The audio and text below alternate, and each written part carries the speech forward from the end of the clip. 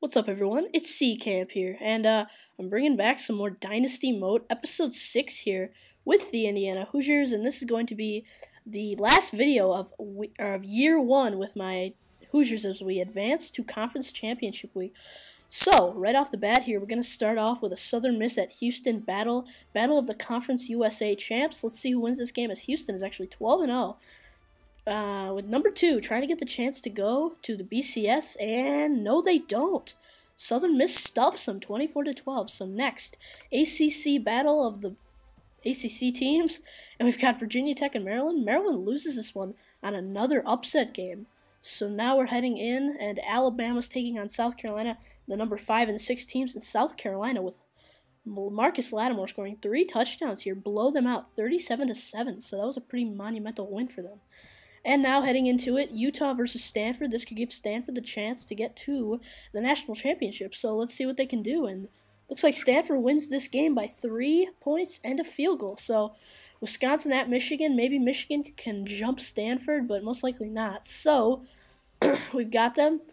And it looks like Wisconsin has upset the Wolverines. So Case Keenum, the Houston quarterback, is going to be the Heisman Trophy winner with Denard Robinson right behind him, as well as Tucker, Andrew Luck, and Trent Richardson.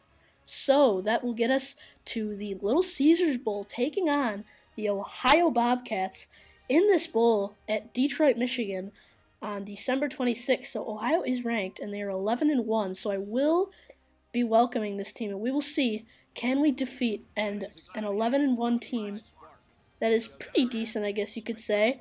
And right now, we're going to go ahead and uh, look at how these presentation, how we walk out onto the field here.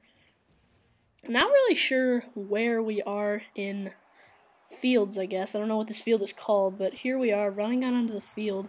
We're not the home team in this one because it's a bowl game, obviously, so we will not be the home team as Ohio runs out as well. So both teams will be running out of their respective helmets. Uh, so they're both really excited. I'm excited to see if we can take down a mediocre conference team who is probably the best conference team in their league and getting a chance to play right off the bat here, third and four. I gotta hit a slot receiver, Kofi Hughes, for a first down. And a couple plays later, another third down, and I convert to Ted Bolser here on a little tight end slant play for another first down. And here it's second and 23. I was sacked the play before. Here comes the Ohio pressure. I get the pass off for about a 30 yard gain.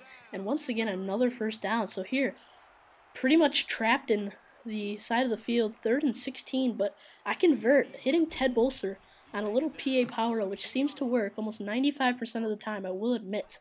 So, here on this halfback stretch play, switching it to the outside and now it's third and two with a loss on that last play, and Willis is almost going to get into the end zone here. With it now being second and goal, Willis up the gut, touchdown, Indiana. What a nice play. And that's a nice little presentation mode there. Bowl season it shows, so obviously it is bowl season. So we have the lead 7 to nothing as I'm running a play in shotgun formation called Flood. And Wright Baker will scramble here and get pretty decent yardage for about 20 yards and a first down. So once again on this first and 10 play, I'm running backwards, but I do find Darius Willis on a little slip screen here to the 34 yard line for another first down. So we're really chugging along against this team. But as I said that, it must have been some sort of call to the heavens or something like I don't know, but I throw a pick here, which is not what I wanted, and kind of wish I didn't say that, that we were doing really well, because then I threw the pick. So I'm not going to say we're doing well. So Ted Bolser here going to hit for about a 20 yard, four verticals play, and Edward Wright having a decent game so far. So you're on this little sprint play for Willis. Gets about six yards, almost to the first down, second and four. On that, and on the very next play here, it's second and 14 now on the last holding call. And what do you know? Wright Baker fumbles the ball. So that was disappointing, I will admit. So here comes Indiana now. We're. We're on this little play. Wright Baker up the middle for a first down, and it's seven to three now. And I'm running fullback middle here, which is a play for the fullback, and I do hit him on a little pass play here for another first down. So it's now third and nine, and I'm gonna go ahead and hit Ted Bolser here to the six yard line. And we're about to score once again. And Willis up the middle for his second touchdown of the game. Oh, yeah. So, it basically gives us the first half victory over Ohio. So, now we're going to go ahead and head into the second half here, see if we can still play well. And I'm running a little screenplay to DeMarlo Belcher. And it turns out well as Belcher getting down to the 45 yard line for once again, probably our 12th or 13th first down of the game.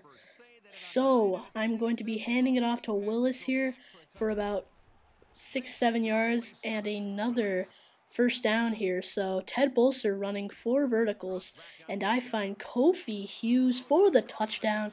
Third touchdown of the Indiana Hoosier drives here as we have the lead 21 to 3. So pretty big and Kofi Hughes is going to catch this one deep. So Edward Wright Baker finding him perfectly on this little deep route to Kofi Hughes for the touchdown. So I'm very excited.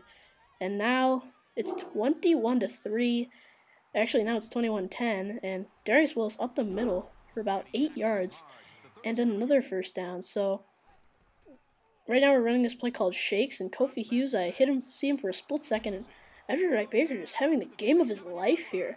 As we head into the third quarter, end of the third quarter, Indiana has the lead 21 to 10.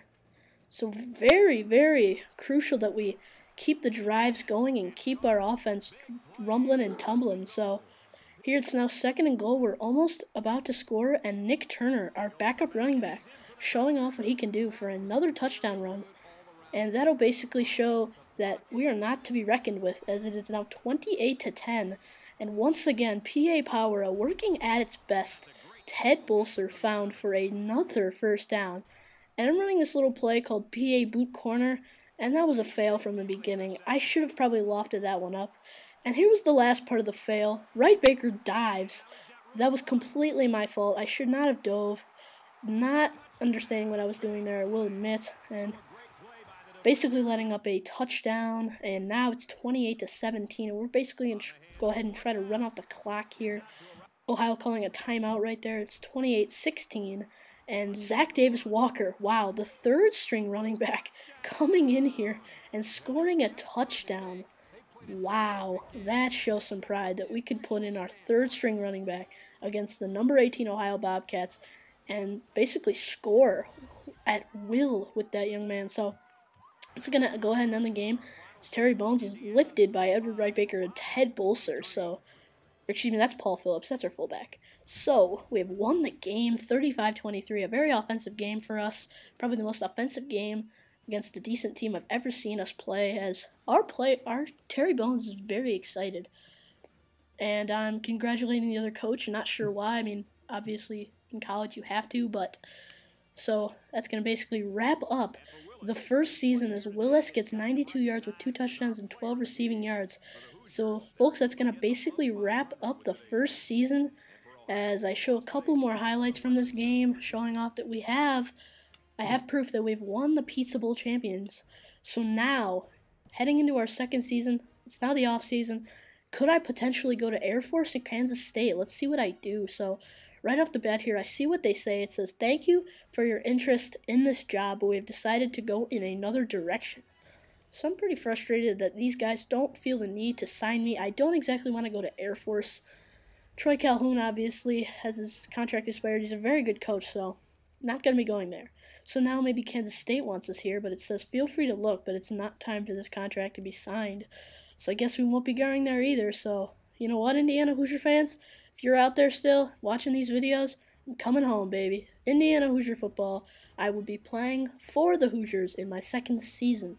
So, continuing this offseason, let's check out the players that are leaving. And Darius Willis is going to the pro draft. I'm very excited for him that he had the chance to do that. And Dusty Kiel, our backup quarterback, will be transferring. I assume it's because Edward Wright now a junior, heading into a second season, will be the starter and will remain the starter. So, now DeMarlo Belcher's graduating. So here in recruiting of week one, I will not be showing the recruiting process, but I will be showing signing day. So let's get to signing day right now. Here in signing day, we have a big day for all prospects out there that want to be signed by a big school, and right now I have 20, 21 recruits, and that's going to start off with a four-star running back, Keith Sims, along with a three-star athlete, and the rest of them are three-star. I've ranked them. I reordered them by caliber, so the rest of them are three-star or lower. So most of these players are skill positions, but some of them you occasionally will see a little linebacker, a guard, strong safety, more linebackers, another quarterback, a tight end, a tackle, free safety, outside linebacker, cornerback, who is terrible, 201. So now heading heading into the training results from last season, as our best player is going to be our center and our second best is our kicker. So Edward Wright Baker now an 82. Nick Turner up to an 81. I'm excited for that. Paul Phillips going to be a 72. Duwyce Wilson as a junior to an 85. Ooh, wow, Bolser an 86 as a junior. This could be good in the future. But um, it's basically our offensive line. There's our best player, Will Mott. So we have a pretty decent offensive line. I like it. So I these rosters, sadly, when you get in with your rosters, excuse me, when you take your prospects that you got from last season, they don't improve as they're in their freshman season. They don't get any points gained as Stefan Obengadiyapong. That's a sweet name. So the freshmen don't get points, but whatever.